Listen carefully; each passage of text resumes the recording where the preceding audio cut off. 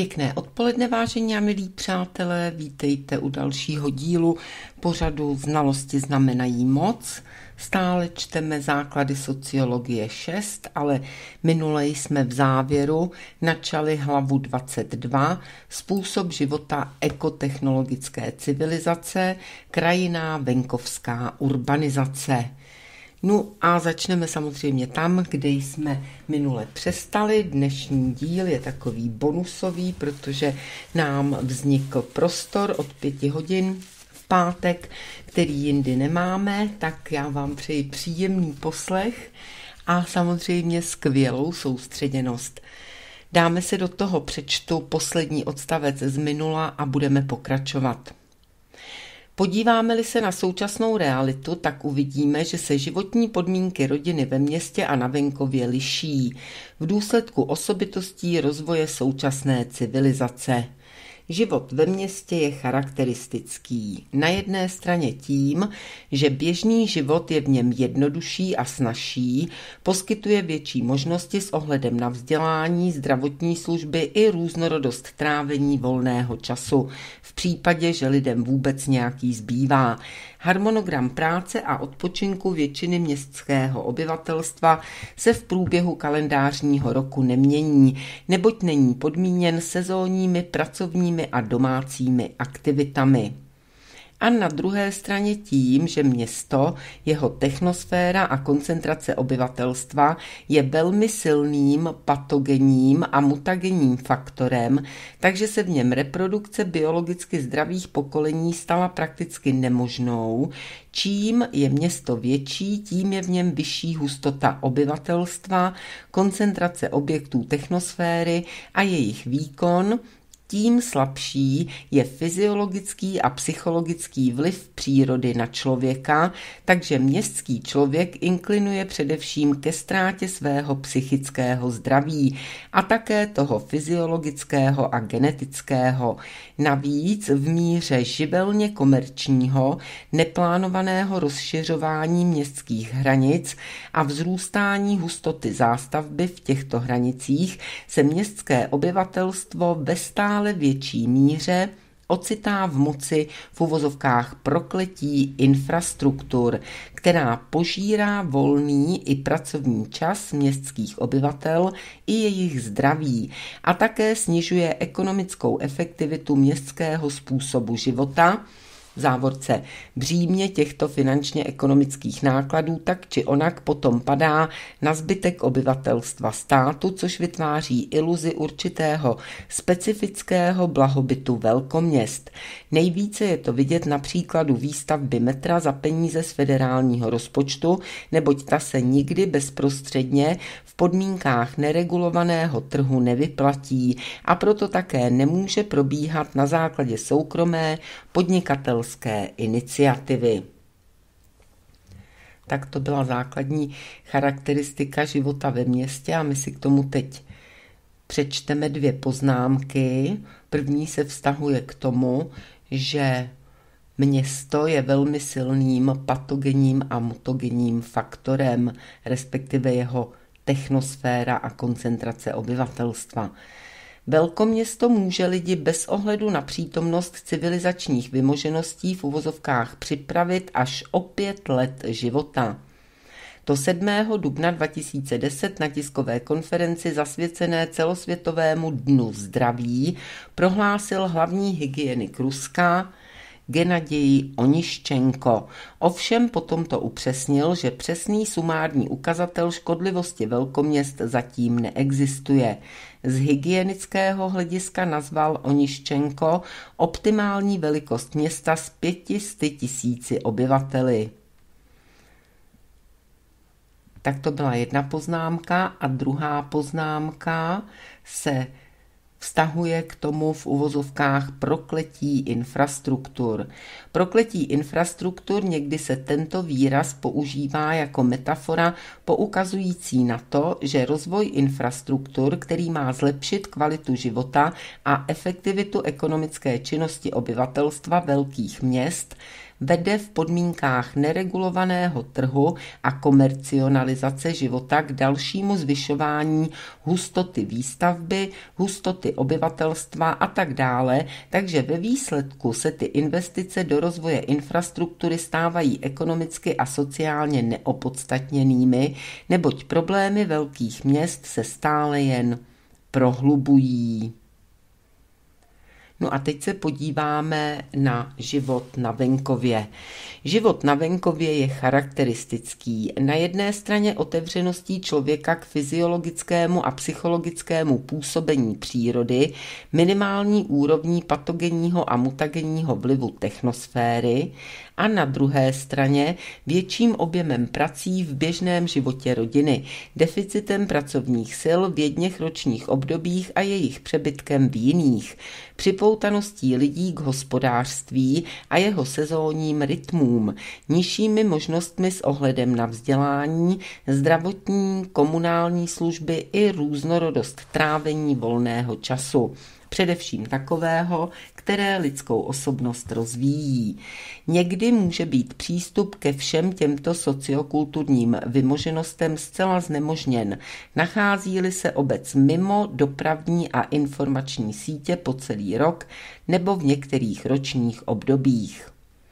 V souladu s těmito okolnostmi potřebuje civilizace jiný způsob života, který by spojoval biologické výhody venkovského způsobu života a sociokulturní výhody toho městského a současně umožňoval integraci civilizace v procesu jejího rozvoje do biocenóz.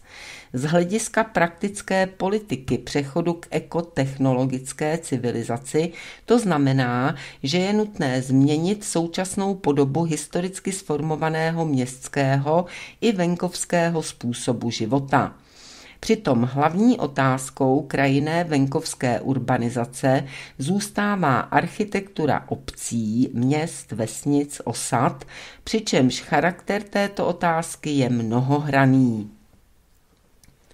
Za prvé je to otázka dominantních a doprovodných druhů hospodářské činnosti obyvatel obce, neboť každá obec, ve které žijí lidé v návaznosti pokolení, jak dokládají dějiny, musí mít svůj ekonomický základ a zaniká, jakmile tento ekonomický základ zmizí. Příkladem toho jsou v uvozovkách mrtvá města v USA, která byla lídry průmyslu a velkoměstské urbanizace a v minulosti se rychle rozvíjela, po určitou dobu vzkvétala a potom byla opuštěna a začala se rozpadat nebo je zlikvidován neadekvátním státním řízením. Příkladem toho jsou v uvozovkách monoměsta a mnohé venkovské obce v dnešním Rusku. A teď se podíváme zase na poznámky. Mezi takováto města v USA patří i Detroit, který byl kdysi v uvozovkách hlavním městem automobilového průmyslu USA a v současné době se vylidňuje a rozpadá. Počet jeho obyvatel se snížil z 1,8 milionu lidí v roce 1950 na 681 tisíc v roce 2013. A teď poznámka k těm monoměstům v Rusku, obce městského typu, které vznikly okolo jediného průmyslového podniku, ve kterém pracuje většina obyvatel dané obce. Tak to je to monoměsto. A ještě jedna poznámka k tomu, proto jsou obce s rodinnými domky a vilami, do kterých se na začátku 90. let začaly stěhovat zbohatlíci, kde nejsou pracovní příležitosti, především pro nová pokolení sociokulturní slepou cestou, jestliže i nadále zůstane zachován jejich noclehářsky rekreační status a jdeme zase zpátky. Za druhé je to otázka volby umístění obce na území regionu se zohledněním za prvé vlivu přírodních faktorů na práci i život obyvatelstva, za druhé zachování již sformovaných biocenóz, za třetí rozvoje infrastruktur, které musí integrovat obec do sociálně ekonomické struktury státu. Závorce druhá a třetí etapa v cyklu řešení úkolů státního řízení znázorněného na obrázku 13.1 pomlčka 3. Takže jsme měli za prvé otázka krajinné venkovské urbanizace, to je hlavní otázka. A teď se to rozpadá na ty body. Za prvé je to otázka dominantních a doprovodných druhů hospodářské činnosti obyvatel obce. Za druhé je to otázka volby umístění obce na území regionu se zohledněním těch tří vlivů. Za třetí je to otázka struktury samotné obce, to jest, jak budou v jejich hranicích rozmístěny za prvé obytné zóny, za druhé zóny určené k odpočinku v kontaktu s přírodním prostředí, za třetí zóny vedení dominantních a doprovodných druhů hospodářské činnosti, za čtvrté sítě vnitřních komunikací a vyvedení transitních komunikací spojujících obec se zbytkem státu na její, pardon, za její hranice. Za čtvrté je to otázka charakteru výstavby obytných zón a v jejich hranicích zase otázka architektury bydlení, které musí za prvé zajišťovat pohodlný život a zdraví každého z členů velké rodiny několika dospělých pokolení a za druhé sloužit minimálně 100 let v opačném případě bude hromadná výstavba dočasného bydlení pro společnost neúnosná. Příkladem toho je hromadná zástavba měst a obcí chruščovkami, kterých je nyní nutné se zbavovat. S ohledem na stávající obce je tato komplexní otázka v podstatě věcí jejich rekonstrukčního rozvoje, takže ke čtyřem vyjmenovaným aspektům ve vztahu k mnohým, již sformovaným obcím a obzvláště velkým městům přibydou ještě dva další. Za prvé, zachování památníků dějin a kultury a jejich integrace do současného i budoucího života obce, a za druhé vyvedení transitních dopravních tahů za hranice obcí. V závorce to je nezbytné ze dvou důvodů. Zlepšení životních podmínek v samotné obci a zvýšení efektivity dopravních infrastruktur regionů i celého státu díky zvýšení průměrné rychlosti přepravy nákladů i lidí. Také je nutné zmínit, že z hlediska života průkazné odpovědi na každou z výše nastolených otázek jsou podmíněny přírodně zeměpisnými faktory regionu a konkrétního místa, kde obec již existuje, nebo je v plánu ji od nuly vybudovat. Tato problematika bude mít svou tvář ve městech s počtem obyvatel přibližně od 100 tisíc a více a jinou tvář ve všech ostatních obcích s menším počtem obyvatel. Stávající paradigma zástavby měst, které se živelně sformovalo v podmínkách maximální komercionalizace všech oblastí činnosti, musí být v historicky krátkých lhůtách překonáno, neboť při jeho nadvládě je hustota zástavby vícepatrovými domy, včetně zvyšování hustoty stávající zástavby taková, že odsuzuje města infrastrukturnímu kolapsu a lidé v nich se už jen svou pouhou přítomností tam biologicky a psychicky vzájemně utiskují kvůli vysoké hustotě obyvatelstva, ani nemluvě o nepříznivém vlivu jiných faktorů současného městského životního prostředí.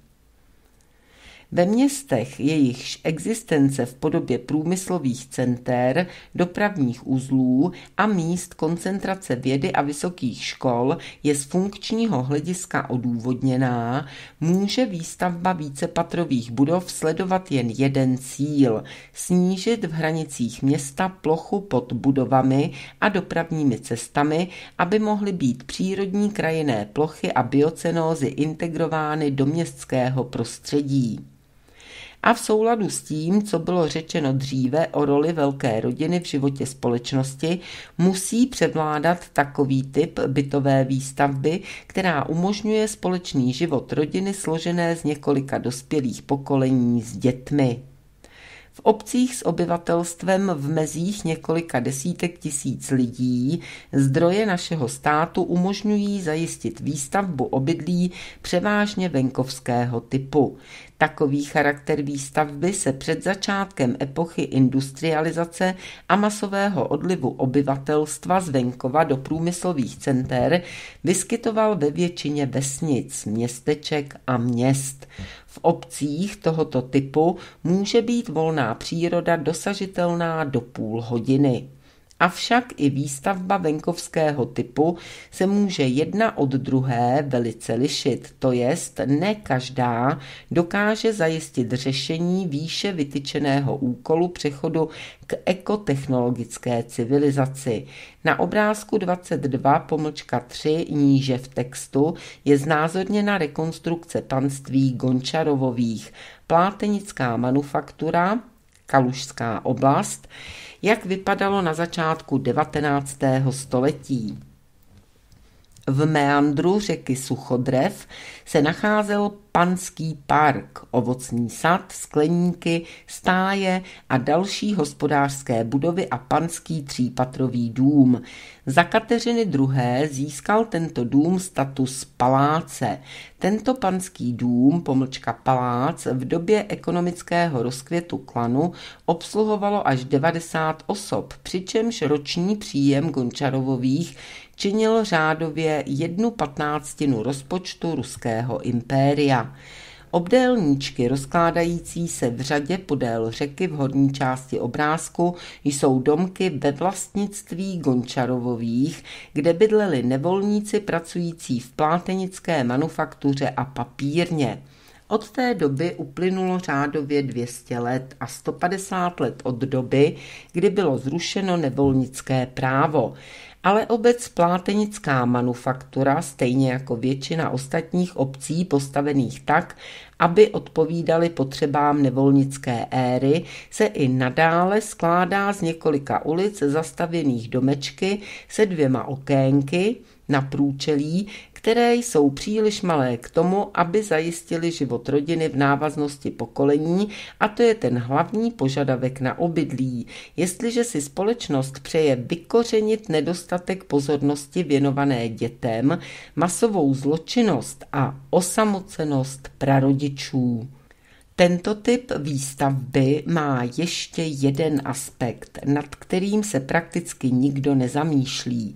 Jedním z účelů architektonických principů promítajících se do obydlí určeného pro otroky je reprodukce otrocké algoritmiky individuální a kolektivní psychiky v automatickém režimu v návaznosti pokolení. Teď je tady ten obrázek. Najdete ho na straně 385 základů sociologie 6.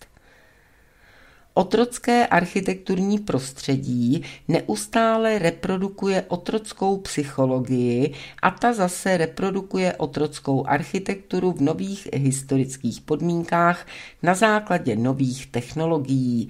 Příkladem toho jsou chruščovky ze sovětské minulosti, které vůbec nebyly vhodné pro život rodiny v návaznosti pokolení, na které dodnes mnozí vzpomínají s povděkem vůči NS Chruščovky Chruščovovi. Prý se díky tomu lidé přestali tlačit v podnájmech, sklepních obytných prostorách a komunálkách a přitom si vůbec neuvědomují, že ve skutečnosti jeden typ obydlí pro otroky nahradili jiným typem obydlí pro otroky. A to samé se opakuje i dnes, kdy při projektování a výstavbě nových obcí převládá stejný typ zástavby jako v obci Plátenická manufaktura. Příkladem toho je obytná čtvrť Novaja i Žora, Vys obrázek poblíž města Kolpino, nedaleko od Petrohradu. Teď poznámka. k tomu typu obydlí pro otroky. V této souvislosti zmíníme i škodu způsobenou přechodem na pětidenní pracovní týden se dvěma víkendovými dny v roce 1957.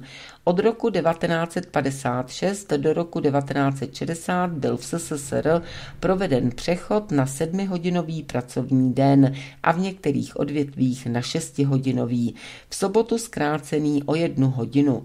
To umožňovalo dětem pobít dostatečnou dobu s rodiči každý den.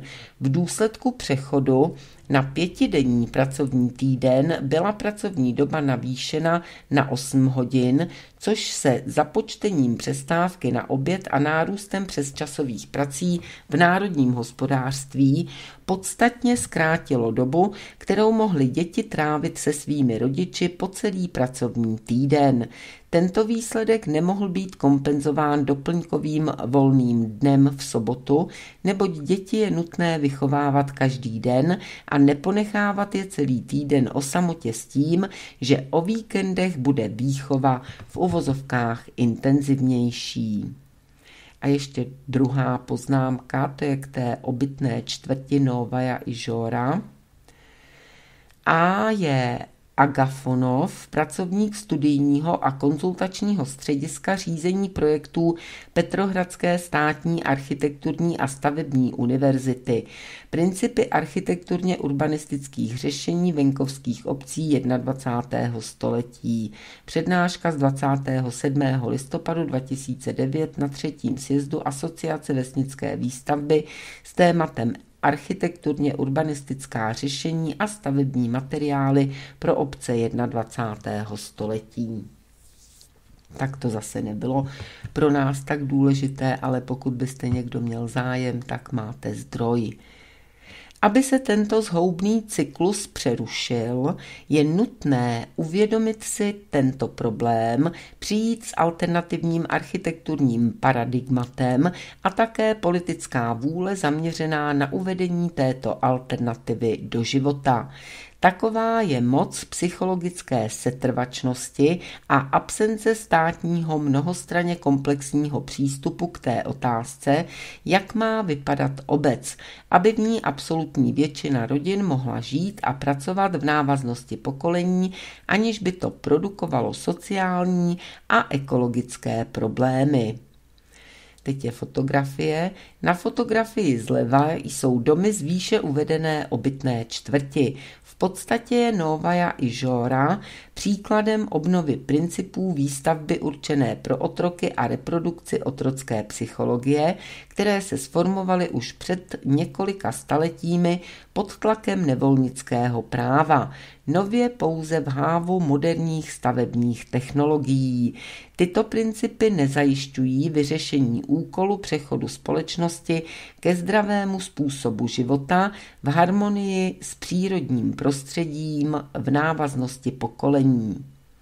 Obrazně řečeno jsou obce v architektonickém stylu Novaja i Žora jen stejnou, o něco větší komunálkou typu vraního hnízda, která se neskládá z pokojů, ale v uvozovkách rodinných domků o celkové obytné ploše od 133 do 140 metrů čtverečních na pozemcích o velikosti od 220 do 550 metrů čtverečních. Jsou to unifikované baráčky, takové vypadají moderně, ale jeden je jako druhý. U nás je takových všelijakých sídlišť také plno.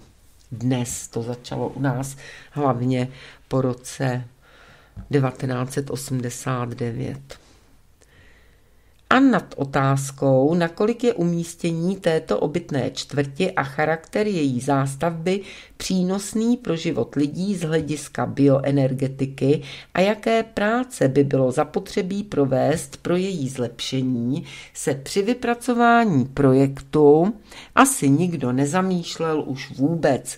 Nejdůležitější přece bylo zajištění obchodního zisku, jenže stejný typ zástavby je charakteristický i pro v uvozovkách elitářská satelitní městečka v celém Rusku, jen s tím rozdílem, že v uvozovkách vily jsou v nich dražší než v Novoj i Žóře.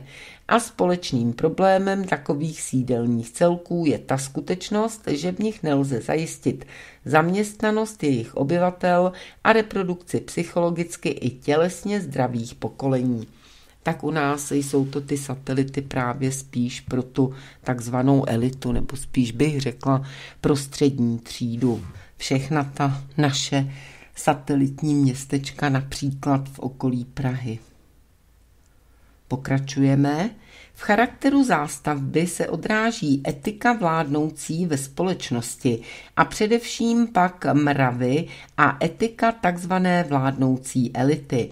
A soudě podle toho, co jsme viděli výše, propadla se postsovětská Ruská federace ve své mravně etické regresi na úroveň epochy nevolnického práva.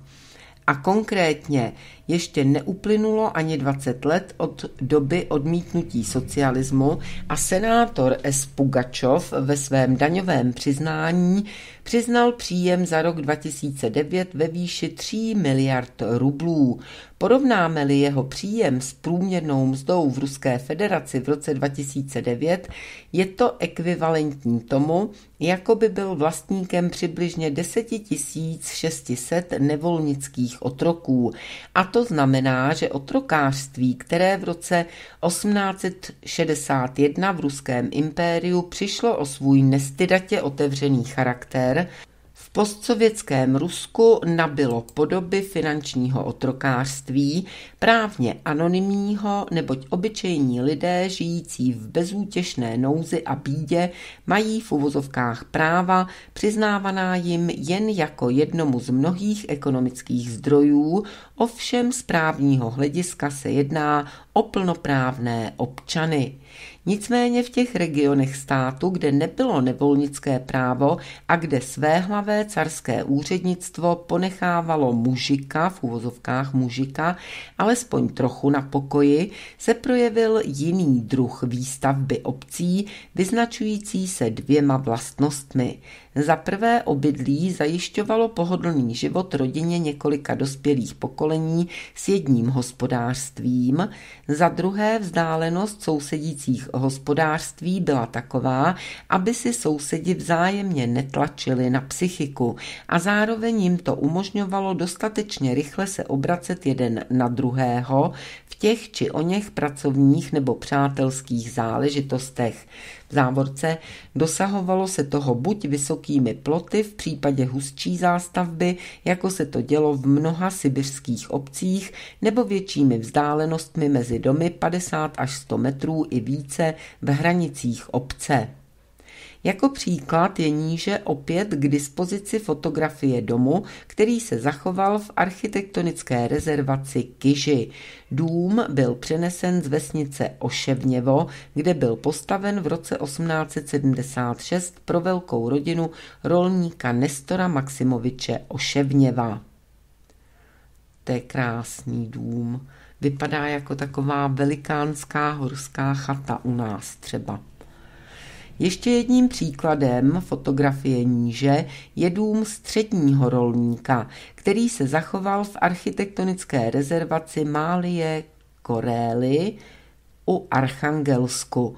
Oba tyto domy se dnes v katalogu nemovitostí nazývali elitním rodinným domem z prvotřídní kulatiny, přestože v době své výstavby byly v podstatě typickým obydlím pro velké rodiny typických pracujících. V naší době samozřejmě není nutné, aby se pod jednou střechou s obytnou částí, jako se to dělalo na severu do začátku 20. století, nacházely všechny ty hospodářské prostory, které potřebovala rolnická rodina v minulosti. Nicméně ty požadavky, které se sformovaly v regionech bez nevolnického práva, určující rozměry rodinného domu a plochu okolního pozemku, mají neopominutelný význam kvůli neměnosti biologických a psychologických potřeb lidí. A právě ty nám umožňují pochopit, čím se liší architekturní paradigma krajinné venkovské urbanizace od dnešní výstavby obcí řídící se nyní všudy přítomným principem dosahování co nejvyššího obchodního zisku ze čtverečního metru pozemku. S problémem nekompatibility úkolů spočívajících v dosahování maximální obchodní efektivity výstavby a řešení sociálních problémů se střetávají všechny státy. Z článku T. Soljanajové, věnovanému semináři jedné z předních evropských odbornic na bytovou výstavbu profesorky londýnské školy ekonomie Christine Whitehead, se dozvídáme. Analytici varují, že tato móda levného z obchodního hlediska maximálně efektivního bydlení nás může výjít pěkně draho. Ve výsledku vznikají celé oblasti nekvalitního bydlení, které se časem promění jen v další harlemy. Jenže stavbaři mají ve státě velkého zákazníka a pro něj jsou takové v uvozovkách psí boudy výhodné, jestliže jsou určeny pro přidělení nebo prodej státním zaměstnancům a pro sociální účely, je možné dodržet i sociální normu 18 metrů čtverečních na člověka a potom podat hlášení, že bytové problémy byly vyřešeny. No a spokojení jsou i ti, kteří takové byty dostanou. Jen zkuste vysvětlit důstojníkovi, který se deset let plahočil po ubytovnách, že jeho novoučký 60-metrový v uvozovkách třípokojový byteček je na nic. Snaha o levnost vyvolává i další tendenci ve vyspělých státech a tou je suburbanizace, neboť rozrůstání města a jeho předměstí, respektive o jeho předměstí, což potom zvyšuje problémy s infrastrukturou. Příkladem toho jsou novostavby v okolí Moskvy a v ještě větší míře novostavby v okolí Petrohradu. A ten problém nespočívá ani tak v tom, že bouřlivě se rozrůstající předměstí nemají dost školek, škol, nemocnic a požárních stanic, ale v tom, že se ocitají v uvozovkách mimo i v sociokulturním smyslu. Ve výsledku potom probíhá marginalizace jejich obyvatel zrychleným tempem a najednou se ze včera ještě čistého předměstí stává místo, kde není doporučeno vycházet večer ven. Autoři Dostat se z této biosféricko-sociální slepé uličky je možné pouze na základě koncepce krajinné venkovské urbanizace, jenže přechod k ní nutně znamená odmítnutí toho dosud vládnoucího principu, že obyvatelstvo není nic jiného než ekonomický zdroj ve vlastnictví elity a kosmopolitní superelity. A přechod k jinému principu, že ekonomika je tu pro proto, aby přinášela prospěch každému člověku. Ještě jednou, že ekonomika je tu proto, aby přinášela prospěch každému člověku. A to samozřejmě vyžaduje přestavbu celé sociálně-ekonomické politiky státu, včetně té finanční, zákonodárství i systému norem přičemž v měřítku státu musí demografická politika zohledňující výše popsané biologické a sociokulturní aspekty zajišťovat. Negativní biologický přírůstek obyvatelstva ve městech s obyvatelstvem nad 100 tisíc, depopulaci milionových měst a přijímání takových opatření, aby na jejich současné území mohly začít pronikat biocenózy příslušných regionů, aby v jejich hranicích mohly být sformovány rekreační zóny a snížen technogenní vliv na jejich obyvatele, biologický přírůstek obyvatel na venkově převyšující místní potřebu pracovních zdrojů, Přítok mládeže z venkova do měst jako systémový faktor reprodukce a ozdravení městského obyvatelstva v návaznosti pokolení.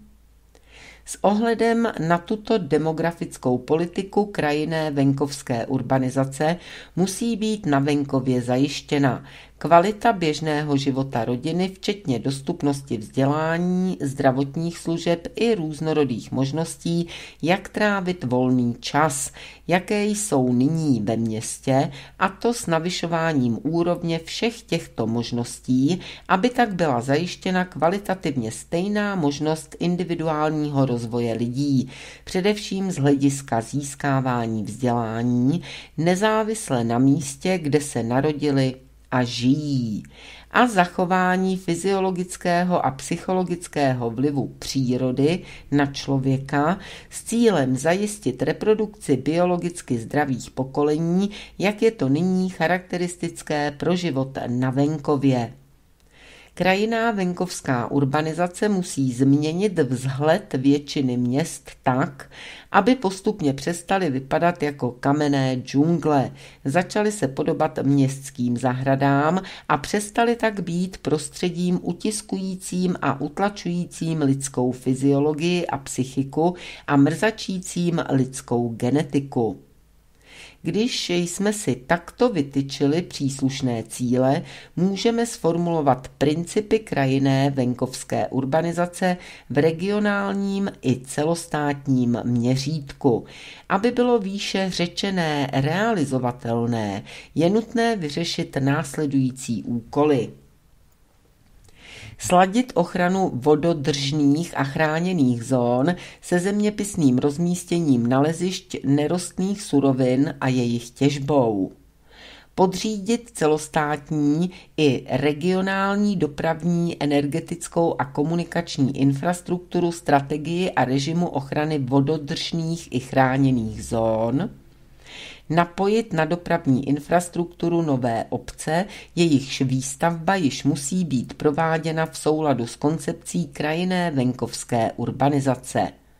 V míře možností musí být zemědělství převáděno na technologie a organizaci permakultur, Výchozí princip permakultury spočívá v účelovém formování umělých biocenóz, jejichž komponentami budou rostliny, houby, zvířata, ptáci a ryby, které mohou lidé využívat jako potravu a které mohou být zdrojem surovin pro některé oblasti zpracovatelského průmyslu.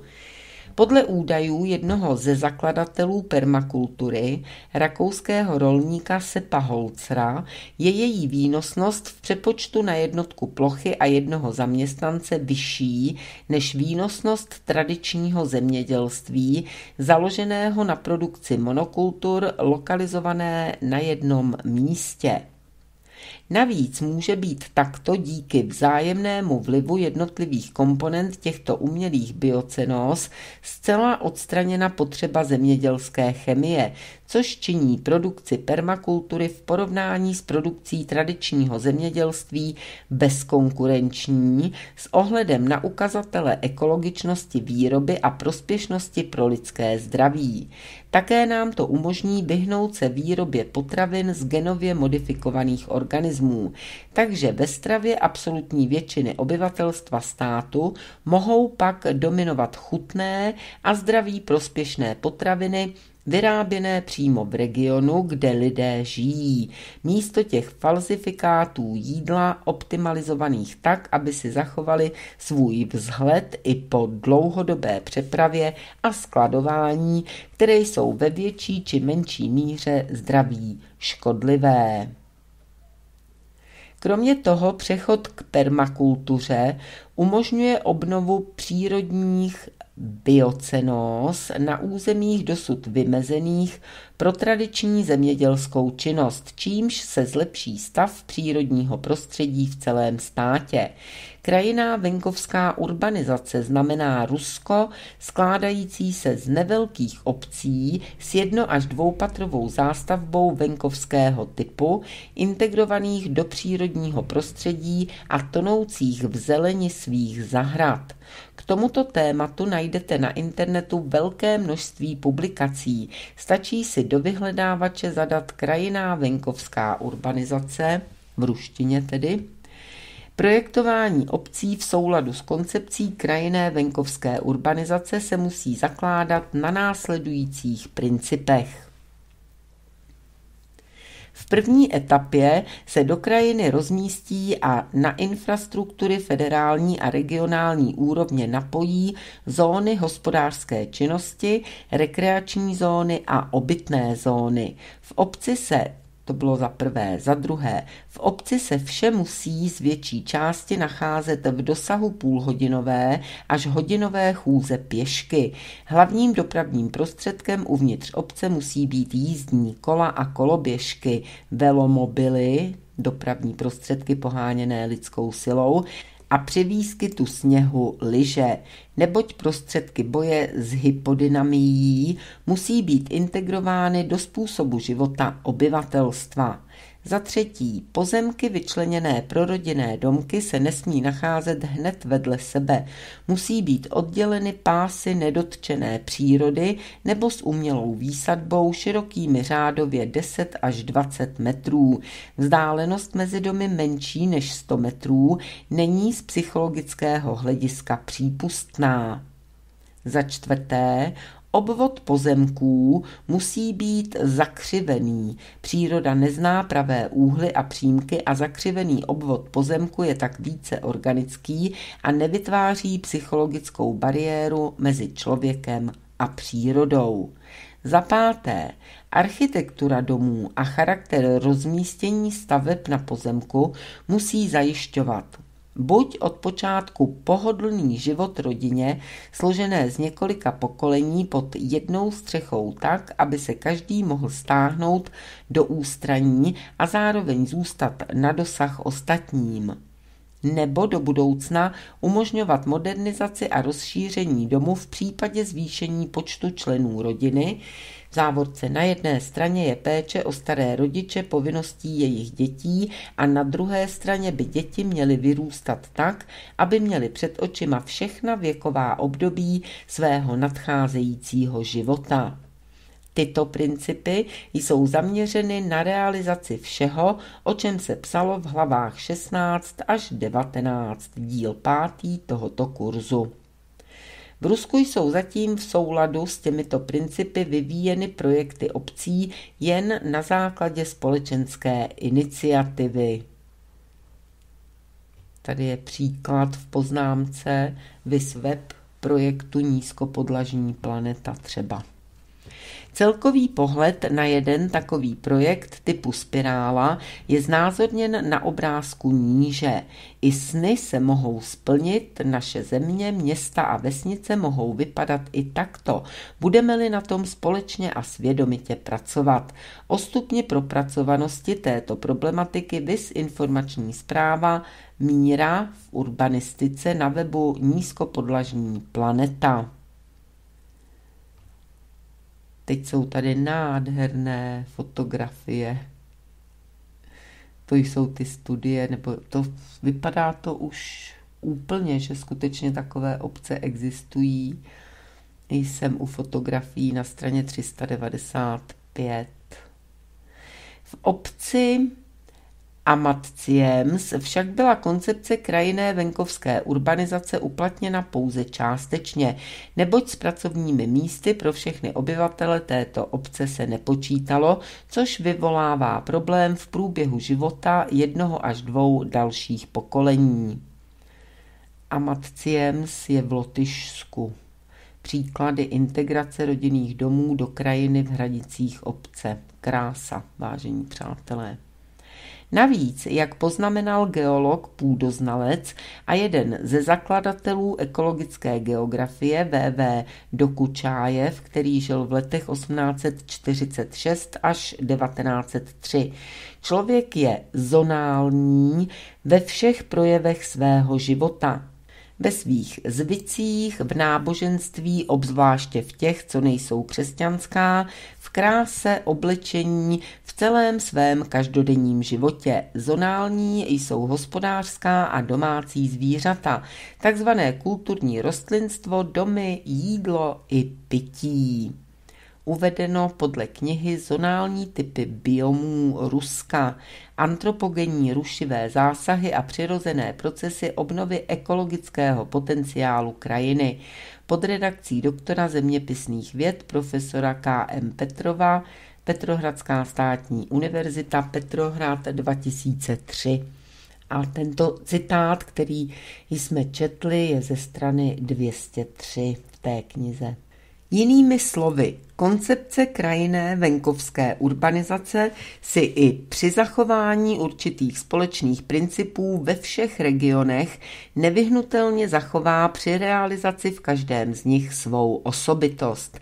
Tato osobitost je podmíněna přírodně zeměpisnými faktory příslušného regionu, kterým se člověk musí přizpůsobit, aby společnost zůstala v návaznosti pokolení stabilní. Výše uvedené příklady se týkají regionů na jejichž území převažují lesy a panuje tam relativně krátké léto s pravidelnými srážkami. Fyzikálně zeměpisné podmínky stepních a lesostepních zón či hor budou diktovat jinou optimalizaci organizace rodinného obydlí na principech krajinné venkovské urbanizace. A otázky zaměstnanosti obyvatelstva v měřítku státu musí být při realizaci koncepce krajinné venkovské urbanizace řešeny na základě jiných principů, než jsou ty současné, historicky živelně sformované. Zaměstnanost v zemědělství je podmíněna především dvěma faktory. Za prvé, relativně pomalu se měnící kapacitou trhu potravin a technických kultur a za druhé sezónními potřebami pracovních zdrojů, které v průběhu roku kolísají. Takže pro využití pracovních zdrojů, které se uvolní v důsledku kolísání potřeb v zemědělství, mohou být v obcích na venkově rozmístěny různorodé průmyslové výroby. Vzhledem k tomu, že pro účely ozdravení obyvatelstva v návaznosti pokolení je nezbytné změnit proporce městského a venkovského obyvatelstva státu směrem ke zvyšování podílu toho venkovského, je nutné rozmístování průmyslových podniků na vesnici chápat nejen jako prostředek pro zajištění zaměstnanosti venkovského obyvatelstva v době mezi sezónními zemědělskými pracemi, ale také jako komplexní strategii rozvoje vědy a průmyslu. Je to totiž tak, že v absolutní většině případů průmyslová výroba pro své kádrové zajištění vůbec nepotřebuje města s obyvatelstvem na 100 tisíc lidí a více. Jejich vznik je důsledkem živelně ekonomického rozvoje průmyslu v podmínkách, kdy v minulosti společnost neřídila trh. Bude-li uplatňována biosféricky podmíněná demografická politika, počet jejich obyvatel poklesne, přírodní biocenózy se rozšíří na jejich současné území a změní kvalitu života lidí v nich. A při orientaci na přechod k ekotechnologické civilizaci mohou být průmyslové podniky celé nebo jejich technologicky specializované podřízené útvary, napojeny na dopravní infrastrukturu stejně jako obce rozvíjené na principech krajinné venkovské organizace a v takovém případě v nich obyvatelstvo okrajových obcí bude moci pracovat. Energetická zajištěnost a rozvoj dopravních infrastruktur umožní při takovém přístupu zajistit technologickou ucelenost a ředitelnost výrobních procesů většiny druhů produkce. Do práce a zpět domů se zaměstnanci mohou dopravovat osobními automobily a linkovou autobusovou dopravou. Taková politika postupem času zvýší podíl venkovského obyvatelstva a obnoví jeho dostatečný přítok do měst, aby se upevňovalo zdraví městského obyvatelstva, což povede k celkovému navýšení kvality života celé společnosti. Takový systém organizace života a práce bude o to efektivnější, oč vyšší bude všeobecně kulturní a vzdělanostní úroveň obyvatelstva v závorce, takže změna pracovního místa a profese nebude pro většinu lidí stresující ani problémová a znalost několika profesí a připravenost osvojovat si nové se stane sociální normou. To všechno však může být realizováno pouze za podmínky, kdy stát uznává a ve své politice uplatňuje následující principy mravně etického charakteru. Smysl lidského života nespočívá v získávání peněz. Hlavní masa obyvatelstva není v uvozovkách ekonomickým zdrojem. Není to prostředek pro uspokojování spotřebitelských ani jiných choutek takzvané elity.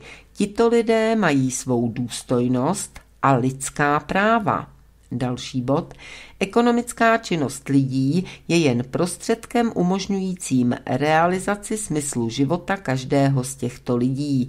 Jinými slovy, člověk musí žít a pracovat ve jménu nějaké ideje a dostávat za to důstojnou mzdu, která mu umožní zajistit rozvoj jeho rodiny, výchovu dětí, dostatek volného času pro kontakt s jinými lidmi a tak dále a v případě, že přestane být schopný práce nebo dosáhne důchodového věku, musí mít zajištěn příjem a péči ze strany svých příbuzných a blízkých.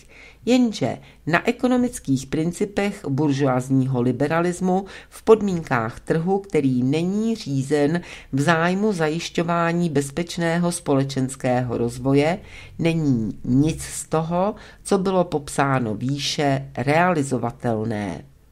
Proto se při přechodu od kapitalokratické civilizace, vyprodukované buržoazním liberalismem, na principech komercionalizace bez výjimky všech druhů činností, musí politika státu a společenského samořízení opírat o alternativní sociologicko-ekonomickou teorii, na jejímž základě by bylo možné řídit hospodářský systém státu v procesu realizace koncepce rámce krajinné venkovské urbanizace jako organizačně ekonomického základu pro život společnosti a rozvoj kultury. Zatím však politici vykreslují jen perspektivy prohlubování biosféricko-sociální ekologické krize ve všech jejich aspektech a považují to za nevyhnutelný a normální běh věcí, což představuje pro budoucnost státu i lidstva reálné nebezpečí. Krajiná venkovská urbanizace, jejíž základní principy byly vyloženy v této kapitole, je jako organická složka koncepce sociální bezpečnosti jedinou alternativou k sebelikvidační buržoázně liberální civilizaci, narušující objektivní zákonitosti všech šesti skupin, kterým je podřízen život jednotlivých lidí, jejich rodin, sociálních skupin, kulturně svébytných společností i celého lidstva. Je tím nezbytným základem pro přechod ekotechnologické civilizaci i pro další rozvoj kulturně svébytných společností i celého lidstva. Jenže realizace koncepce krajinné venkovské urbanizace vyžaduje, aby státní řízení řešilo dílčí úkoly v cyklu znázorněném na obrázku 13.3 pomlčka 1 zohledňovalo objektivní zákonitosti všech šesti skupin a mělo odpovídající společenskou podporu. A tady, vážení přátelé, končí hlava 22 v redakci ze dne 1.9.2016. No a my máme před sebou příští týden hlavu 23 o ekonomickém zajištění společenského rozvoje a politiky státu. Já vám nyní již děkuji za pozornost a přeji krásné odpoledne. Samozřejmě následuje písnička.